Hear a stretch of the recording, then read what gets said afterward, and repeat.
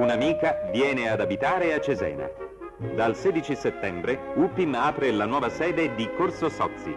Sì, anche a Cesena la mamma compera alla UPIM.